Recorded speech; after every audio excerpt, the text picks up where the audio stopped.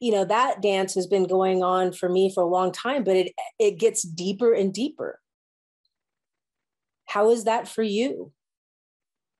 Have you noticed that? The more that you go into your meditation the more that you go into prayer the more that you go into this place of attunement with the divine and, and simply appreciating and, and feeling the gratitude and the beauty of life itself allowing that to come in for me what has happened in that is i have noticed that so many things that i have tried to fix about myself those shadow states are simply falling away. And there's new information coming to me. One of these things that i'm discovering you know when we talk about love and light so light, and we think of it. So in this study, it was it was the photons. They were able to measure these quantum particles, these these energies that are light.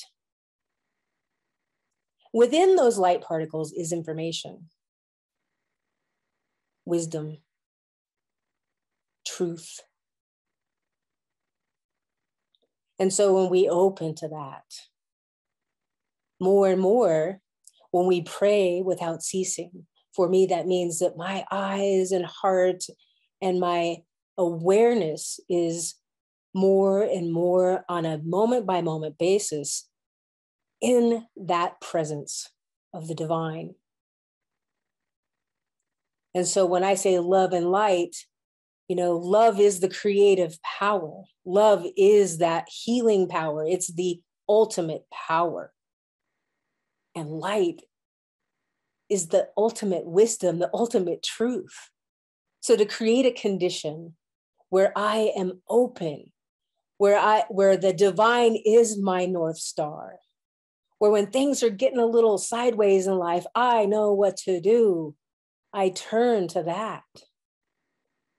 And what I've discovered as well in this meditation over the last week or so, I've I've had some really powerful coaching sessions with people.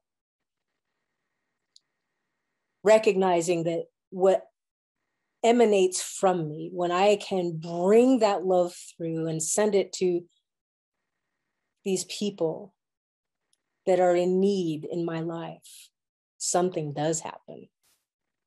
Something powerful happens.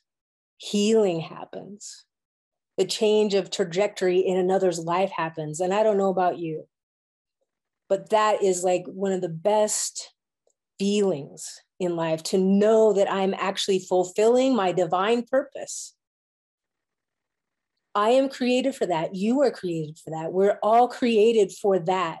The primary purpose, the primary reason for being here at this time is to be great. This is a time for greatness.